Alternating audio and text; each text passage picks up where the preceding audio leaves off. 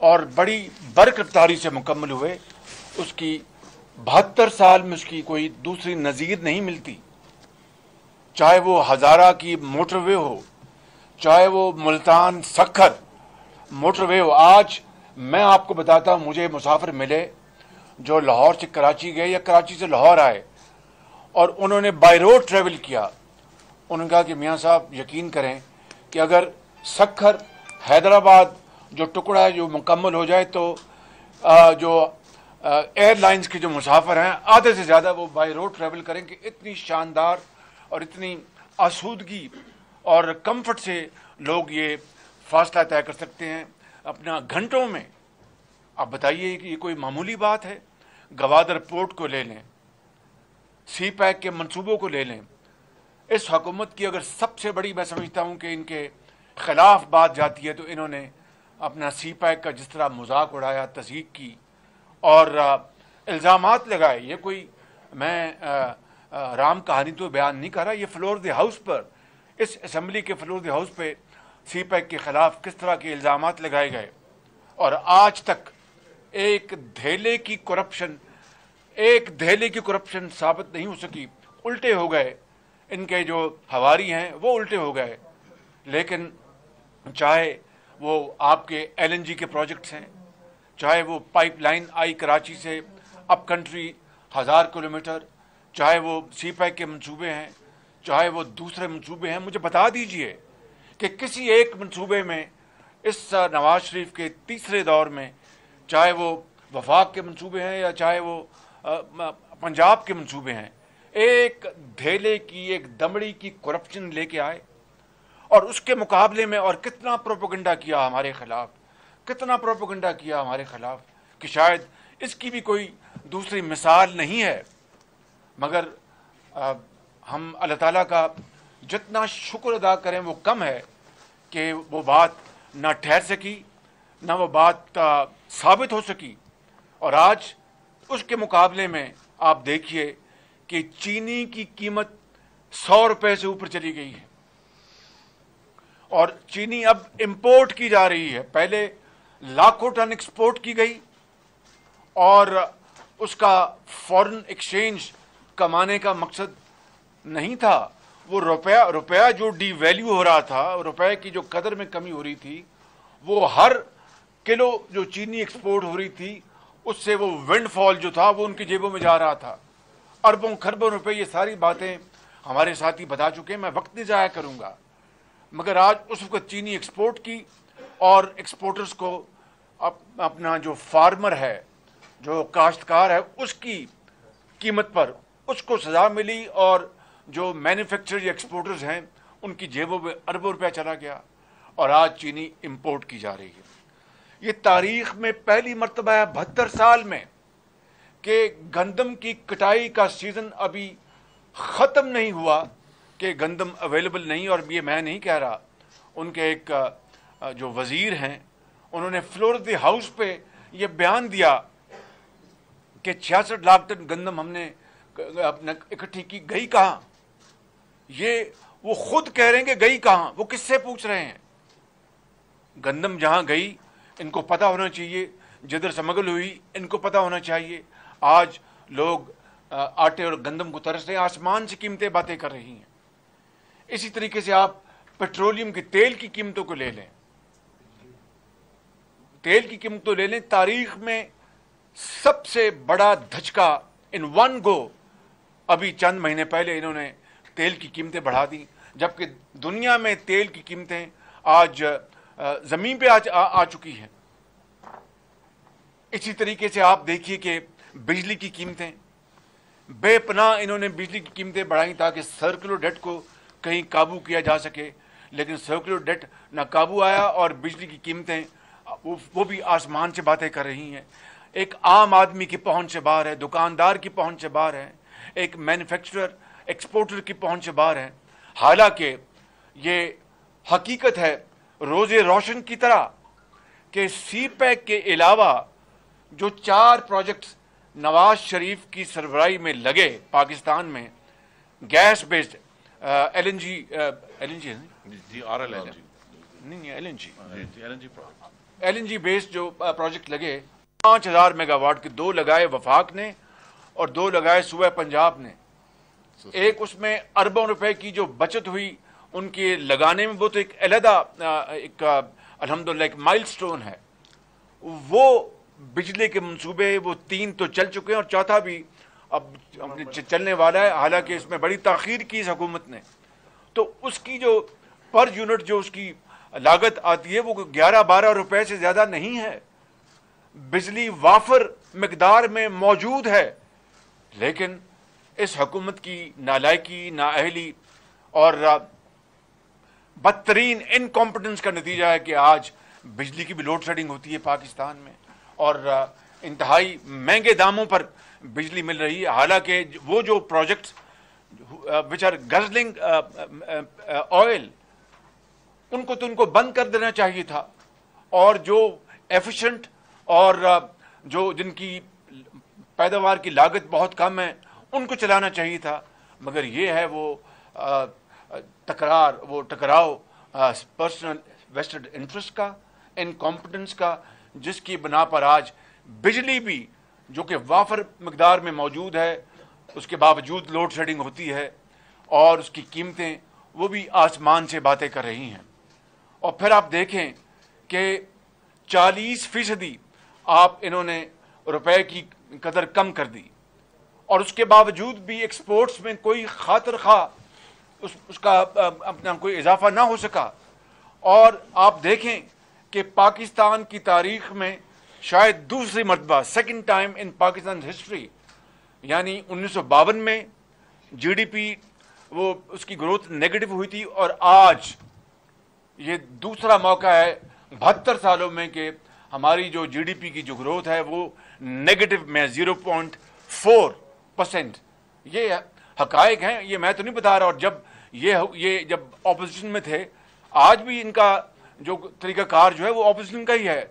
आज भी ये कंटेनर पर चढ़े हुए हैं। किस तरह कहते थे कि फजिंग करते हैं, ये फजिंग करते हैं? वो फजिंग तो ना निकली, इनकी फजिंग सामने आ गई कि पहले ये कहते थे कि 3.9 परसेंट हमारी ग्रोथ है इकोनॉमी की, फिर उसको रिवाइज किया और 1.9 पे लेके आए। और इसी तरीके से देखें कि इनके इन दो सालों में जो इन्होंने बोरिंग की यानी जो उधार लिया है, जो डेट जो कौम का जो बढ़ाया है पब्लिक डेट वो दो सालों में उतना है जितना कि नवाज़ शरीफ के तीन अदवार में एक तरफ़ और इनका दो सालों में एक तरफ़। ये आलम है पाकिस्तान और गरीब आदमी, उसकी तो हालत न पूछें। और मैं यहाँ पर किसी अपना, किसी हवाले से भी खुद नुमाई की बात नहीं करना चाहता, लेकिन हकीकत है कि नवाज़ शरीफ की सरबराही में पंजाब में हस्पतालों में अद्वियात मुफ़्त कर दी गई थी। इन्होंने वो तमाम अद्वियात बंद कर दी और अद्वियात की कीमतें आसमान पर पहुँच गई।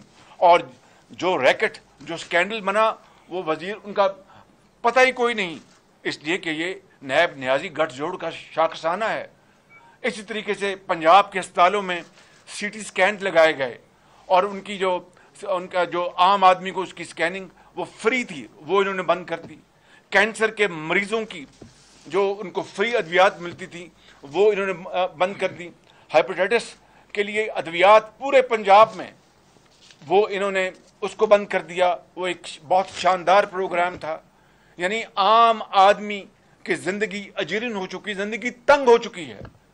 और जो अशराफिया है, वो इनके इर्द गिर्द बैठे हैं। इनके अपनी काबीना में वो लोग मौजूद हैं, जो कि दूध से धुले हुए हैं, उनको कोई नहीं पूछ पूछ सकता। ये सिलेक्टिव हम कोई अकाउंटेबिलिटी के खिलाफ नहीं, कोई मुनसफाना और ट्रांसपेरेंट और नज़र आता हुआ एहतसाब के कोई खिलाफ नहीं।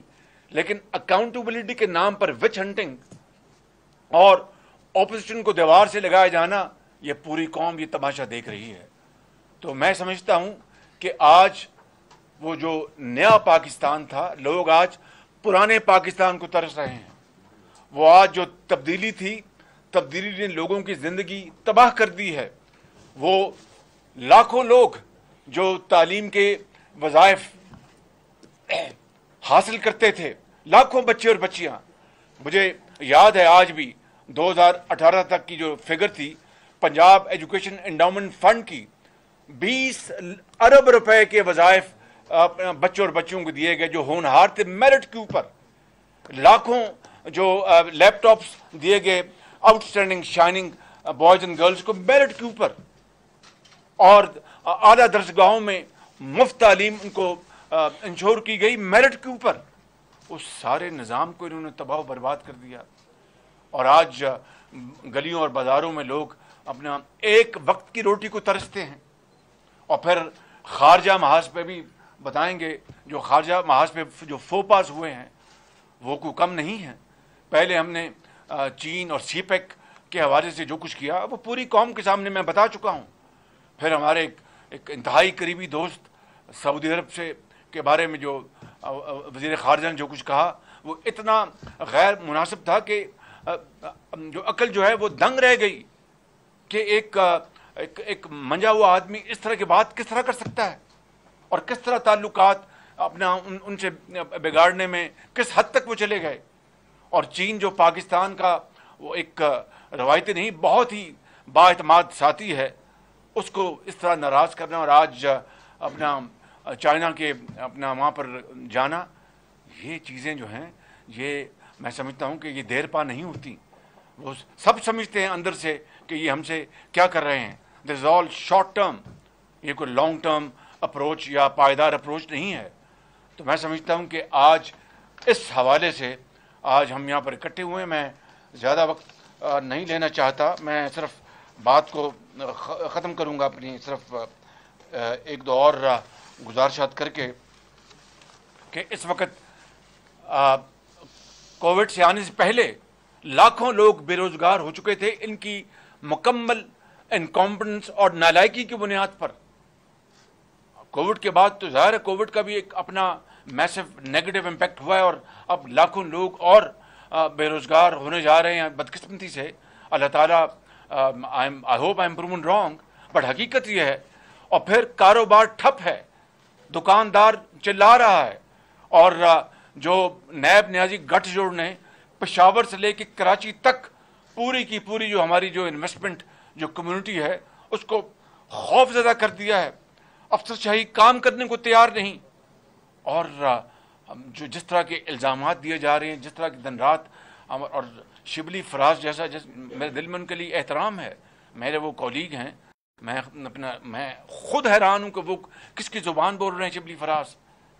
तो कहने का मकसद यह है, मेरे भाइयों और बुज़ुर्गों और बहनों, कि आज हम इकट्ठे हुए हैं, ये बताने के लिए कि जो कुछ ये सिलेक्टेड गवर्नमेंट के लिए किया गया और जो उनको सपोर्ट मिली है, उस सपोर्ट को और अनप्रेसिडेंटेड सपोर्ट मिली। उसके बावजूद भी ये जो पाकिस्तान, जो इस तरह जा रहा था, ये नोज़ ड्राइव बदकिस्मत जारी है और इट इज़ अनअवेटेड इसमें कोई अभी अभी तक कोई रुकावट नहीं आई। वो बिल्कुल नीचे जा रही है हमारी इकॉनमी नीचे जा रही है, हमारी मीशत नीचे जा रही है, हमारी एक्सपोर्ट्स प्रोडक्शन हमारी इन्वेस्टमेंट्स सब जिसकी बात आप कर लें तो क्या वो पाकिस्तान बेहतर था या ये पाकिस्तान बेहतर है? ये इसकी सारी तफसील यहाँ पर मौजूद है। मैंने आपका बहुत वक्त लिया और इसके हवाले से अब मैं दावत दूँगा। ख्वाजा आसफ साहब को, इन्होंने जाना है असम्बली में, इनका इनका बिज़नेस है। ये खारजा को बात करेंगे। मैं ख़तामन ये अर्ज़ करूँगा कि कशकोल तोड़ने ये आ रहे थे। आईएमएफ का चैप्टर ख़त्म करने जा रहे थे और ये कह रहे थे कि मर जाएँगे। आईएमएफ के पास जाएँगे, मर जाएँगे। कर्जे नहीं लेंगे, एक रुपया बढ़ता है डी वैल्यू होता है तो सौ रुपये ऊपर पड़ता है। और अगर बिजली महँगी है तो वज़ी अजम जो है, समझ लीजिए, खुदा न खा चोर है। अगर फ़लाँ चीज़ महँगी होती है तो वज़ी अजम जो है वो, आज सारी बातें कहाँ गई? आज काम, कौम सवाल करती है, पूछती है। और फिर ये कह देना कि जनाब अपना घबराओ नहीं, डरो नहीं, और फ़िक्र न करो। इस तरह क्या लोगों के पेट भर जाएँगे? इस तरह रोटी मिल जाएगी? आज लोग रोटी को, एक वक्त की रोटी को तरस रहे हैं।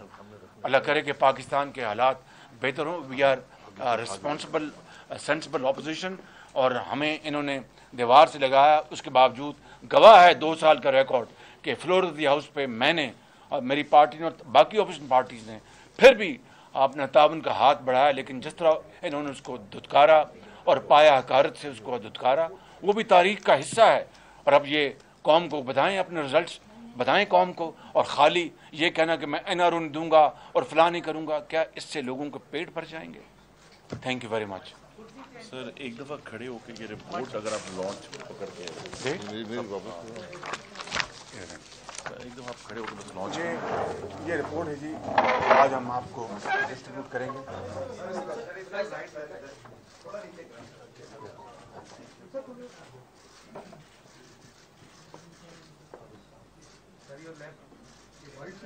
जी, ये वाइट पेपर है जी हमारा, दो साल का।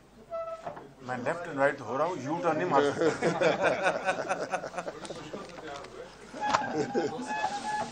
लंगने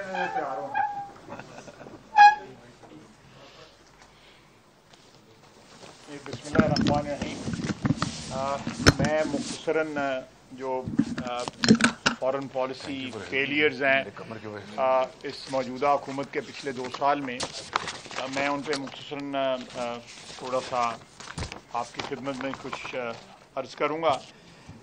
सबसे बड़ा फेलियर पिछले दो साल में आ, जो फॉरेन पॉलिसी का है वो कश्मीर है। कश्मीर की जो एनेक्सेशन है इंडिया में ने जो की है और वहाँ पे जो कत्लेआम इस वक्त बरपा है और सारे हिंदुस्तान में मुसलमानों का जिस तरह कत्लेआम हो रहा है जेनोसाइड हो रहा है, ये पाकिस्तान की फॉरेन पॉलिसी की सबसे बड़ी फेलियर है। और हमने क्या किया है, उसके रिस्पांस में वो आपके सामने है। हमने कभी खड़ा होना था पंद्रह दिन, पंद्रह मिनट के लिए, दस मिनट के लिए, खामोशी इख्तियार करनी थी, फिर कोई गाना गाना था फिर कोई एक टांग पे खड़ा होना था कभी दो टांग पे खड़ा होना था। आ, और बस इसी किस्म के को गिमिक्स जो है हम कश्मीरियों का जो ये बात याद रखनी चाहिए कि कश्मीर में हमारा खून जो है पिछले बहत्तर साल में इन्वेस्ट हुआ हुआ है। हमने 48 की जो बड़ी जंग है उसके बाद पैंसठ की बड़ी जंग जो है वो कश्मीर के इशू पे लड़ी। हमारी कमिटमेंट जो है इन जंगों के ज़रिए डेमोन्स्ट्रेट हुई। और उसके बाद भी जो आ, आ, हमारी जंग हिंदुस्तान में हुई वो उसमें डायरेक्टली या इनडायरेक्टली कश्मीर का इशू इन्वॉल्व था। शहीदों के लू लाहू से इन लोगों ने गद्दारी की है उनको टांग पे खड़ा होना या गानों के ज़रिए या किसी और के ज़रिए जो है उस उसकी तरफ़ जो है इन्होंने मोड़ दिया है। कश्मीरी आज जो है वैली के अंदर इस बात का इंतज़ार कर रहे हैं या इस बात की दुआएँ मांग रहे हैं अपने शहीदों को पाकिस्तानी परचम में दफन कर रहे हैं कि पाकिस्तान हमारी मदद को आएगा। ये फेलियर है एब्जेक्ट फेलियर है। और उसके ऊपर जिन ममालक ने हमारी हमायत की मलेशिया में इन्होंने जाने से इनकार कर दिया वहाँ से एन वक्त। ना उनके साथ रहे ना सऊदी अरेबिया के साथ रहे। ना इधर करे ना उधर ना इधर के रहे ना उधर के रहे। ये कॉन्ट्रडिक्शन हैं। फॉरेन पॉलिसी की कि आपने एक लॉबी को अपीज करने के लिए दूसरी लॉबी को जो है वो नाराज़ किया। और अल्टीमेटली दोनों जो हैं, वो दोनों नाराज़ हो सऊदी अरेबिया हमारा वो दोस्त है कि इकहत्तर की जंग में उनकी नेवी के पास सिर्फ़ दो गन बोट्स थी। उन्होंने दोनों की दोनों हमें हमें भिजवा दी। हमारी उनकी दोस्ती, हमारा उनका, हमारा सताइस लाख ओवरसीज पाकिस्तानी वहाँ पे काम करते हैं। यूएई में 16 लाख काम करते हैं। ये साढ़े चार मिलियन इन दो ममालिक में पाकिस्तानी जो है, आपकी 65 परसेंट रेमिटेंस जो है, इन दो ममालिक से आती है। आपने उनके साथ भी ताल्लुक आपने लोगों की रोजी जो है, जो आपका, जो आपकी लाइफ लाइन है, जो फॉरन रेमिटेंस की, उसके ऊपर अटैक कर दिया। आते ही आपने सी पैक के खिलाफ जो है बयान देने शुरू कर दिए। सी पैक सबसे बड़ी सक्सेस है हमारी फॉरेन पॉलिसी की और हमारा जो स्ट्रेटेजिक रिलेशनशिप है चाइना के साथ, उसकी सबसे बड़ी सक्सेस है।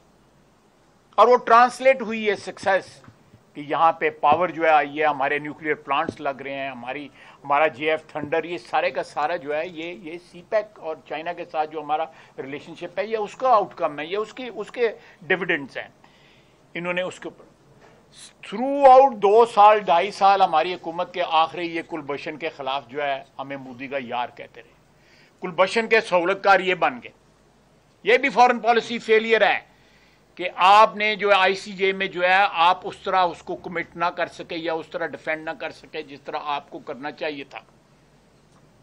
और अब ये जहाँ पे कानून साजी होती है कुलभूषण की जान बख्शी की या कुलभूषण को बचाने के लिए यहाँ पे ये this is another failure of our foreign policy उसके बाद आपने अमेरिका का रिलेशनशिप जो है, ठीक है, अमेरिका के साथ रिलेशनशिप के, अच्छे रिलेशनशिप के, हम भी हामी हैं। बहुत ज़रूरी है अमेरिका के साथ, वो सुपर पावर है। लेकिन क्या डिविडेंड्स आपको मिले? आपने क्या कामयाबी या क्या ब्रेक थ्रू उसमें अचीव किया? जो अमेरिका के साथ रिलेशनशिप थे, आज भी रिलेशनशिप वही हैं। जो एक रवायती रिलेशनशिप वहाँ पे चला आ रहा है। इस वक्त OIC एक ऐसा अदारा था जहाँ पे आप अपने जो ग्रीवेंसेस लेके जा सकते थे इस्लामी दुनिया को, उनके ज़मीर को आवाज़ दे सकते थे। वो डिसफंक्शनल हो गया है। आपके कहने पे कॉन्टेक्ट ग्रुप की जो है मीटिंग नहीं वहाँ पे वहाँ पे कन्वीन होती। मिनिस्ट्री मिनिस्ट्रियल लेवल की कमेटी जो मीटिंग है, वो बहुत दूर की बात है। टोटल कोलैप्स है आपकी फॉरेन पॉलिसी का। आप अपनी फॉरेन पॉलिसी जो है, अपने रीजन में भी जो है उसको, उसकी फर्दरेंस नहीं कर सके। बहुत दूर की बात है कि आप अपने रीजन से बाहर जाके यूरोपियन यूनियन या अमेरिका के साथ जो है को अपने डिविडेंड फॉरेन पॉलिसी डिविडेंड वहाँ से लें। अपने रीजन में नहीं कर सके। जिस तरह मियाँ साहब ने फरमाया यहाँ पे इकोनॉमिक फ्रंट के ऊपर सिक्योरिटी फ्रंट के ऊपर फॉरेन पॉलिसी फ्रंट के ऊपर आप नाकामियों का अंबार है ये हुकूमत दो साल के अंदर। अंबार है। और शर्म नहीं आती इनको। ना हया आती है इनको जो है इन, इन, इन नाकामियों के ऊपर बल्कि उन नाकामियों को डिफेंड करने की कोशिश कर रहे हैं। कि हमारा जुलाई में जो है वो ट्रेड डेफिसिट कम हो गया फलानी चीज़ें नुकसान करते हैं सैकड़ों हज़ारों लाखों करोड़ों अरबों रुपए का। और डिफरेंस बताते हैं, फिर चुवानियों और ठियानियों का जो है ना, वो डिफरेंस बताते हैं कि हमारी ये चीज़ इंप्रूव कर गई है। तो इस सूरत में पाकिस्तान आज तनहा खड़ा है दुनिया के दुनिया के अंदर। पाकिस्तान के दोस्त जो है, उसका हाथ पकड़ने के लिए अनरिलायबल लोगों की वजह से कोई तैयार नहीं है। आपका जो फ्लिप फ्लॉप है फॉरेन पॉलिसी के ऊपर, उसकी वजह से आपका कोई बैक करने को आपको तैयार नहीं है। हमारा जो स्ट्रेटेजिक रिलेशनशिप है चाइना के साथ, वो एक किस्म की हमारी लाइफ लाइन है इस वक्त। और सी पैक जो है, उसका कॉर्नर स्टोन है। आपने उसको भी स्पेयर नहीं किया। हमारे जो जो वेस्टर्न हमारे नेबर्स हैं ईरान है अफ़गानिस्तान है, आप उनके साथ ही तल्लुका ठीक कर लें। कम से कम ये ये आपके बॉर्डर जो है, महफूज हो जाएँ। तो ये मैं मैं अख्ताम करता हूँ अपने आर्गूमेंट का कि ये सारे के सारे जो फॉरेन पॉलिसी इनिशिएटिव्स तो मैं नहीं कहूँगा, लेकिन जो भी बिल्टअप हमने किया था फॉरेन पॉलिसी के महाज के ऊपर, मैं ज़्यादा डिटेल में नहीं जाना चाहता जो है और भी बहुत कुछ कहा जा सकता है, वो उसको भी डिसमेंटल इन्होंने कर दिया। उनसे भी जो डिविडेंड्स मिल सकते थे, हमने बावजूद बहुत बड़ा इनिशिएटिव लिया, बावजूद यमन की जंग में हमने यहाँ पे रेजोल्यूशन पास हुआ जिसमें इन्होंने बहुत बड़ा रोल प्ले किया। लेकिन हमने अपने तल्लकात जो है खराब होने से बचाए। मियाँ साहब के वक्त भी और उसके बाद मैं शायद अबाज साहब वहाँ पे गए मैं उनके साथ था। हमारे तल्लुकात जो है उस वक्त बहुत अच्छे थे। उनको एक दो गिले थे लेकिन दोस्तों में गिले भी होते हैं। दोस्तों के गिलों को शिकायतों को मैनेज भी किया जा सकता है। इस तरह नहीं किया जा सकता कि आपका फॉरेन मिनिस्टर जो है एक आपका बहत्तर साल पुराना दोस्त जो है आपका जो एक दरीना साथी जो है अच्छे बुरे वक्तों में आपके काम आया हुआ है अगर कोई थोड़े गिले शिकवे हो गए हैं तो ये ज़बान नहीं इस्तेमाल करते। जो ज़बान जो है हमारे फॉरेन मिनिस्टर ने ये डिप्लोमेट की चीफ डिप्लोमेट की ज़बान नहीं जो उन्होंने इस्तेमाल की है। खैर उनका पता नहीं उनको चपेड़ पड़ी है या चपेड़ मारी है तो अगर जब ये हाल हो तो फिर इस ये फॉरेन पॉलिसी का क्या हाल होना है? बहुत बहुत शुक्रिया। अब आ, मैं दावत दूँगा।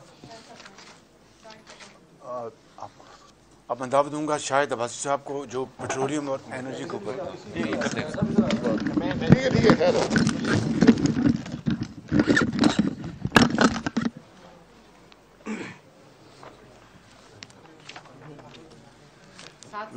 रहीम एनर्जी 2013 में पाकिस्तान का सबसे बड़ा मसला था। न मुल्क में बिजली थी, न गैस थी। अलहमदिल्ला पाकिस्तान मुस्लिम लीग नून की हुकूमत ने दोनों मसाइल हल किए। उस वक़्त भी एक बड़ा मसला सर्कुलर डेट का था, आज भी है। लेकिन जो नाकामी इस हुकूमत की सर्कुलर डेट के मामले में है, उसकी कोई नज़ीर नहीं है। और अजीब बात यह है कि वफाकी वजरा पार्लियामेंट के फ्लोर पर, कौमी असम्बली में, सेनेट में मुकम्मल झूठ बोलते हैं। मैं सर्कुलर डेट की हकीकत आपके सामने रखना चाहता हूँ। जब हमने हुकूमत छोड़ी, जून 2018 में पाकिस्तान का सर्कुलर डेट 1026 अरब था। 1026 अरब, जिसमें से 580 अरब हमसे पहले का जो पावर होल्डिंग कंपनी थी, उसके अंदर मौजूद था। और हमारे दौर में उसमें चार सौ बासठ अरब का इजाफा हुआ। आज मुल्क का सर्कुलर डेट 2200 अरब है। 2200 अरब रुपया। यानी तकरीबन इसमें 1200 अरब रुपए का इजाफा हुआ और ये दो सालों में, दो, सिर्फ़ दो सालों में, हमारे पाँच सालों में चार सौ बासठ का इजाफा हुआ। इस हुकूमत के दो सालों में 1200 अरब रुपए का इजाफा सर्कुलर डेट में हो चुका है, जो कि योमिया जो इस हुकूमत का रहा है दो साल का, एक अशारिया दो अरब, यानी 120 करोड़ रुपए योमिया आज पाकिस्तान में सर्कुलर डेट का इजाफा हो रहा है। यानी पाकिस्तान की जो लाइबिलिटीज हैं बार 120 करोड़ रुपया योमिया इजाफा हो रहा है। इससे बड़ी तशवीशनाक बात पाकिस्तान की तारीख में मैंने नहीं देखी कम अज कम, लेकिन हुकूमत बेखबर है और सिर्फ़ झूठ बोलने पर मजबूर है। जो बिल कलेक्शन थी, जिसको हमने चौरासी फ़ीसद से तिरानवे फ़ीसद पर लेकर गए थे, आज वापस अस्सी फ़ीसद पर आ गई। जो ट्रांसमिशन के लॉसेस थे, हमने 22 से 18 फ़ीसद पर किए थे, और तो एक थी और कम किया जाएगा, वो वापस 19 फ़ीसद पर पहुँच गए। जो बिजली बनाने के प्लांट्स थे मेरिट ऑर्डर को वायलेट किया गया फ्यूल नहीं लिया गया, जो हमारे ज़माने में पाँच हज़ार मेगावाट की, अभी शहबाज साहब ने कहा एलएनजी के प्लांट लगे चार हज़ार मेगावाट के कोल के लगे। ये आज पाकिस्तान को, पाकिस्तान की तारीख की सस्ती तरीन बिजली दे रहे हैं और देते रहेंगे। इन प्लांट्स के बावजूद पाकिस्तान के सर्कुलर डेट में रोज़ाना 120 करोड़ का इजाफा हो रहा है। और कोई कमी नज़र नहीं आ रही। और बात यहाँ खत्म नहीं होती। अफसोस की बात यह है कि जून और जुलाई में एक हज़ार मेगावाट की जनरेशन पाकिस्तान में डीजल से होती रही, जिसमें एक वफाकी वज़ीर का भी ढाई सौ मेगावाट का प्लांट शामिल है। ये प्लांट पहले भी बारह साल डीजल पे चलते रहे, जो एशिया की सबसे महँगी बिजली बनाते थे। आज वो प्लांट बंद हुए, एलएनजी दी गई, आज जानबूझकर एलएनजी बंद की गई और ये प्लांट डीजल पर चलाए गए। इसका कोई जवाब देने वाला है? अब इसका असर अवाम पर क्या पड़ता है? असर घरों की बिजली का रेट तीस फ़ीसद इजाफा। आप सब हजरात बिजली का बिल देते हैं। तीस फ़ीसद इजाफा हो चुका है। कमर्शियल में सतावन फ़ीसद तक इजाफा हो चुका है। इंडस्ट्री में चालीस फ़ीसद तक इजाफा हो चुका है। जो बल्क कंज्यूमर थे, वो पचपन फ़ीसद तक इजाफा हो चुका है। ये इजाफे इसलिए किए गए, वजरा ने बताया कि हम सर्कुलर डेट को कंट्रोल कर रहे हैं। ये जो सर्कुलर डेट का मसला है, हम इसको बिजली की कीमत बढ़ाकर इसको खत्म करना चाहते हैं। अवाम की जेब से भी पैसा गया और आज मुल्क भी 120 करोड़ रुपए का योमिया मकरूज हो रहा है। ये आज हकीकत है। बिजली के शोबे भी लंबी कहानी है। यहाँ बयान करना इतना टाइम नहीं है। इसी तरह गैस का मामला है। एक सौ इकतालीस फ़ीसद अजाफा गैस के अंदर है।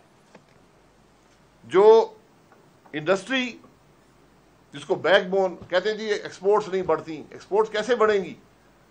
छह सौ की गैस, जो हमारी अपनी मुल्क की अपनी गैस है, छह सौ रुपए की गैस आज बारह सौ रुपए पहुँच गई।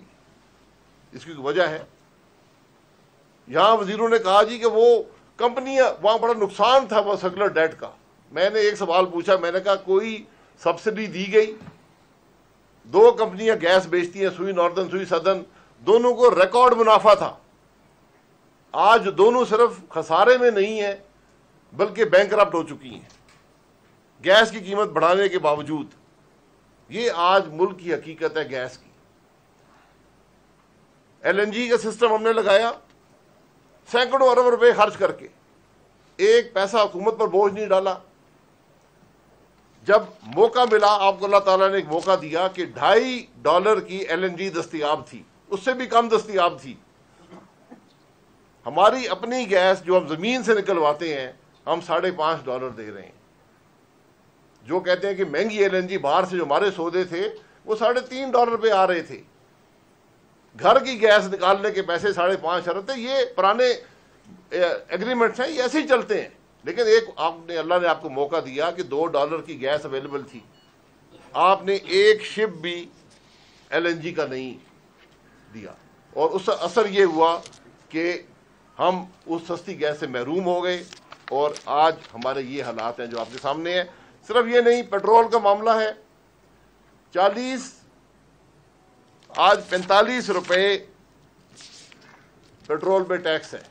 जो हमने छोड़ा था फ़ी लीटर पंद्रह रुपए का टैक्स था, आज पैंतालीस रुपए का टैक्स है। तीस रुपए का अजाफी टैक्स लगाया गया आवाम पर। फ़ी लीटर, इसका कोई जवाब देने वाला है। एक लंबी फहरिस्त है इन मामला की। मैं, टाइम बड़ा कम है, मैं बयान करना चाहता हूँ, लेकिन हकीकत यह है कि एनर्जी के शोबे में इस हुकूमत की नाअहली, इनकी इनकॉम्पिटेंस ने पाकिस्तान को हज़ारों अरब रुपए का नुकसान पहुँचा दिया।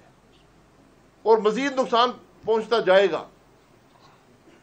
और ये सिर्फ़ नाअहली नहीं है, इसके पीछे करप्शन है। ये पाकिस्तान की तारीख की सबसे बड़ी करप्शन है। जब उजरा के पावर प्लांट डीजल पे चलेंगे, जब उनके प्लांट महँगी बिजली देंगे तो फ़ायदा किसको होगा? आज बात सिर्फ़ नायरी की नहीं है, वो फर्नेस ऑयल जिसको बंद किया गया पाकिस्तान में बैन लगाया कैबिनेट ने फर्नेस ऑयल इंपोर्ट करके।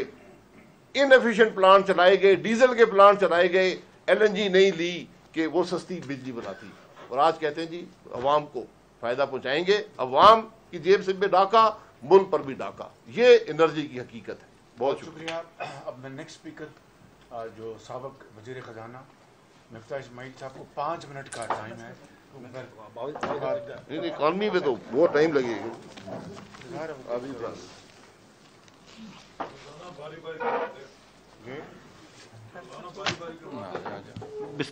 रहीम शहबाज साहब आपने सिर्फ़ पाँच मिनट दिए लेकिन उनकी दो साल की नालायकियों को पाँच मिनट में समेटना बड़ा मुश्किल हो जाएगा। हाँ। तो आ, मैं देखिए मुस्लिम लीग नून का अलहमदिल्ला बड़ा अच्छा स्टैंडर्ड था। हम जब आए थे तो दो अशारिया आठ फ़ीसद ग्रोथ थी। कौमी इनकम इससे बढ़ रही थी, कौमी आमदन। हम उसको साढ़े पाँच फ़ीसद पर ले गए थे, पाँच अशारिया आठ फ़ीसद पे। नौकरियाँ यहाँ पे अवेलेबल थी। हम वो स्टैंडर्ड नहीं रख रहे पीटीआई को जज करने के लिए। नवाज़ शरीफ साहब को, शहबाज शरीफ साहब को, दीगर हमारे वज्रा को एक्सपीरियंस था, तजुर्बा था, ईमानदारी थी सिंसियरिटी थी तो वो अच्छा काम कर सकते थे। सी पैक किया, दूसरा आपने ख्वाजा साहब ने आपको बताया अबाई साहब ने बताया कि हमने कितनी सक्सेसफुल करी हैं एनर्जी के शोबे में वगैरह। लेकिन अब इमरान खान को, इमरान खान के स्टैंडर्ड पे तो जज करेंगे ना, जो पीटीआई बात करती थी। पीटीआई कहती थी कि मुस्लिम लीग नून की हुकूमत ने बहुत ज़्यादा डेफिसिट क्रिएट करा है। और जो शहबाज साहब ने बात करी कि मियाँ साहब के तीन अदवार में इतनी इतनी डेट नहीं बढ़ाई गई जितनी खान साहब के दो साल में हो गई। अब आप ये देखिए कि हमने पाँच सालों में दस